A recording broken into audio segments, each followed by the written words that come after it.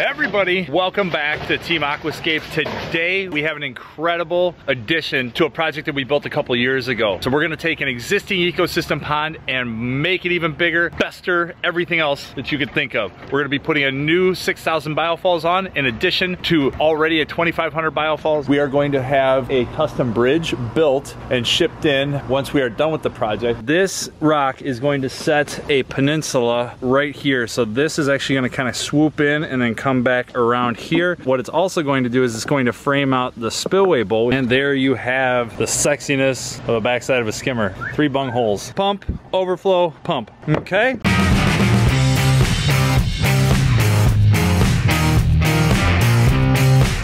first is removal of some of these elements like the bowls, skimmer, that kind of stuff was gonna be one of the first things we did. You can see the guys are working on that now. We've got our area covered up with plywood to protect the existing turf in through here. I wanted to take a second and show you this sump pump system that we are going to be reinstalling a few years ago. We put this in to help manage a lot of their stormwater that was becoming an issue for them. It's always wet in this area. So what we did was, is we ran a French drain along the front of the pond over along this side as well as we took the overflow from skimmer itself. Two inch pipe maybe right there. Anytime this pond fills up with water, the excess water comes down through the overflow pipe, fills up this sump pit, and then was being discharged through a sump pump that tied into this inch and a half line and then runs out to the street. So we are going to be moving this back over here behind me. The existing skimmer that the guys are working on removing is going to end up coming over into this area and through here. That's also where our pump vault and AquaBlox are going to sit for that secondary pump. We're going to be, again, demoing the pond from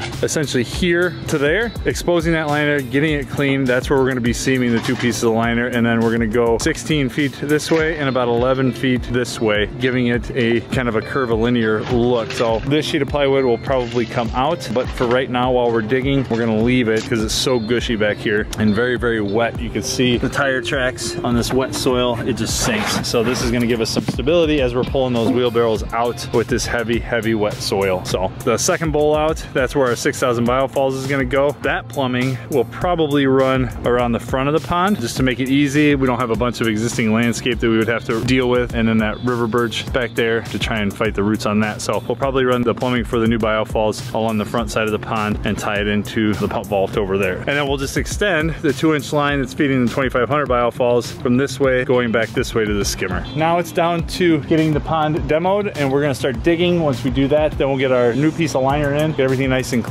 and then start seaming.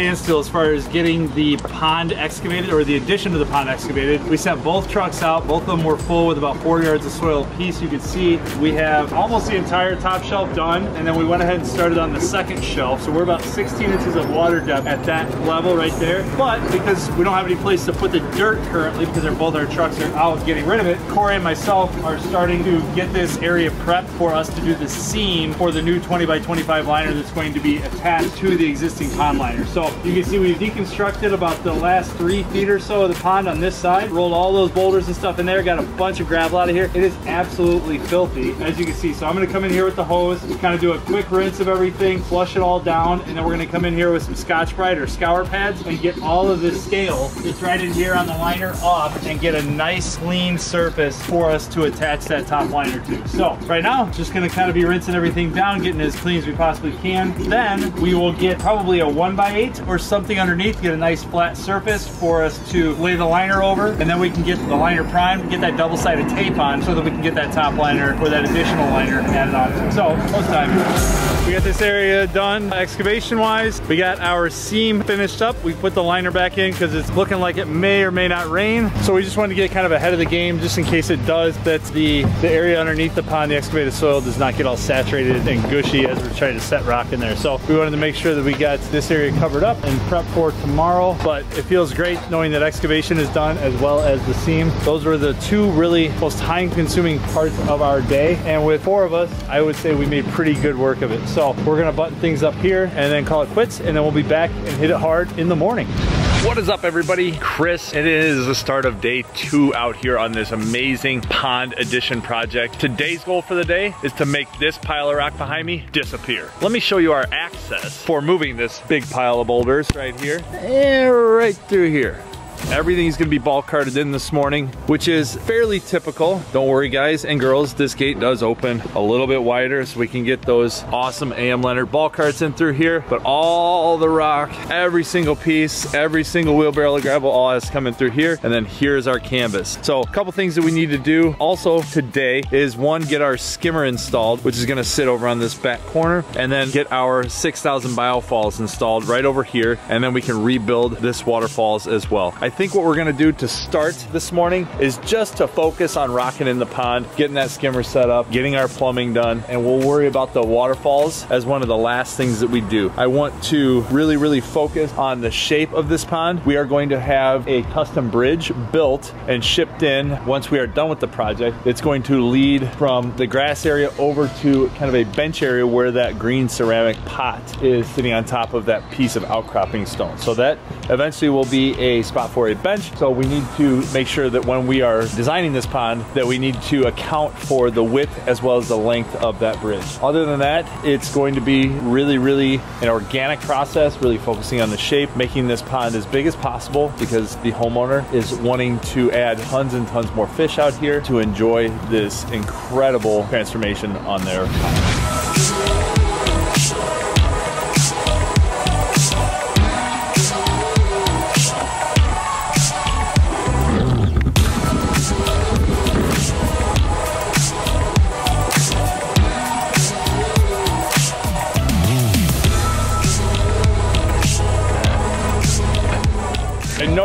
All of you guys out there love to see what kind of challenges we are facing on a daily basis. I would say one of the toughest challenges today is going to be moving this enormous boulder right behind me into the pond over on that backside over there. So we are going to bring it from there to here and then roll it over there nice and gently, being very careful of the liner. But this is what requires all of the muscle, which is why we have Corey on there and Nick, I guess. But that's the biggest rock on the project right there. And it's all going to be done by hand. No machines. This is the real deal, 100% muchacho muscle. Because he had so much muscle on it. We can sleep. To move the rock over there, I'm gonna film. How's that sound?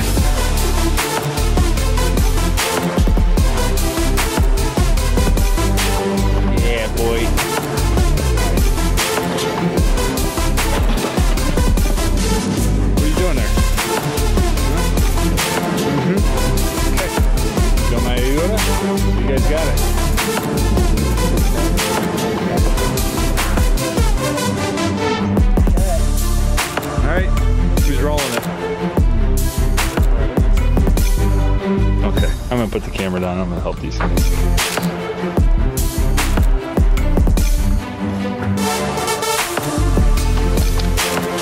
Just like the Egyptians. Ready, set, go. Biggest rock on the project is now in. I know it's hard to tell what it is doing over here on this back edge, but this rock is going to set a peninsula right here. So this is actually gonna kind of swoop in and then come back around here. What it's also going to do is it's going to frame out the spillway bowl, which I think Nick is grabbing behind me, that we are going to bring over and set it just to the right and kind of nestle it in underneath these hydrangeas. And then it's just gonna spill in this little area over here where there's about eight inches of water down here and then we'll probably build like a little plant pocket for some irises or something inside the liner and then pull that cove back as far underneath that existing arborvitae hedgerow and that one hydrangea there. So that'll kind of go back that way. Our skimmer is going to go over there. Then we'll finish out a little section of wall and then the big bowl is going to go over here on this shallow shelf area and then that'll just kind of gravel beach out that way. I'm really, really happy with the progress we're making The bottom of the pond is completely rocked in. We've got some open areas underneath here that we're gonna have to figure out. This is where that bridge is going to be going. Here's Nick right here with the spillway bowl. Remember these two were existing from the original feature, but that bowl is going to nestle in very, very nicely. Let me change the view. We're gonna cut it down about six inches and it's gonna nestle in right in through there. So it'll match up really, really well. And the top of the bowl will only be a couple of inches above existing grade outside of the liner. So really neat effect. We're gonna keep all this plumbing inside of the liner. So there will be a one inch line, flex PVC line going this way. Same from this bolt over here. And then we'll probably do our manifold somewhere over here. And then we'll either come up high over the liner, which we can definitely do back in this area because water level is all the way down here. So we should be able to come up high over in this little area back here or back behind the beach area on this bowl. So we'll see. But one inch plumbing going to all of this. And that is going to be fed partially from a 5PL that sits in the skimmer. And then the rest of that water from the 5PL will go to the 6,000 biofalls, which is going over there. So just to give you a little bit of in the pond perspective of what's happening. And uh, we're gonna keep rolling.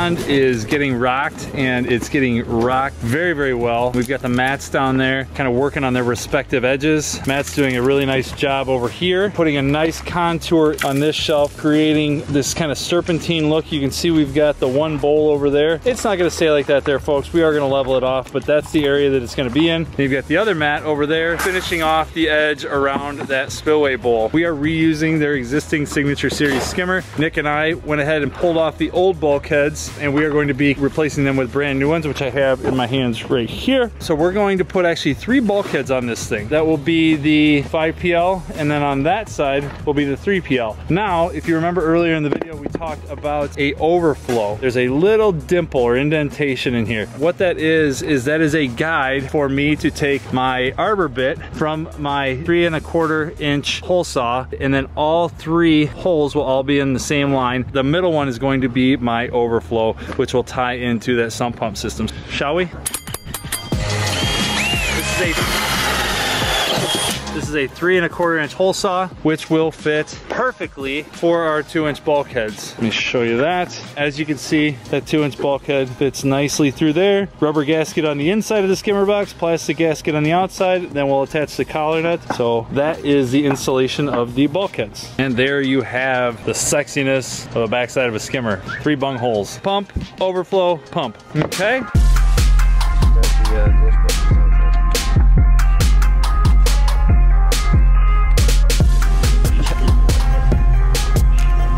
We are going to go ahead and wrap for day two on this project. We've got a pretty light day tomorrow. We still have to do a clean out. We still have to finish up waterfalls back over here, but the pond is completely rocked in. As you can see, Matt is kind of buttoning up the last little area next to this bowl. We've got the whole pond done, which feels absolutely amazing. We got a lot of cleanup to do. We still have to trench our plumbing going from the 6,000 biofalls back to the skimmer. Everything else, it's all just kind of button up work and tying up loose ends tomorrow. So it should be a pretty early day for us out here. So clean up, come back tomorrow, hit it hard, get out of here early, turn this thing into a kick-ass pot, all right?